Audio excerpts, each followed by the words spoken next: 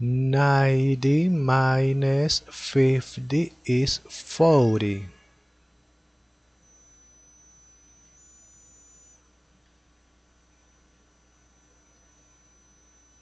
minus 50 is okay finish finish.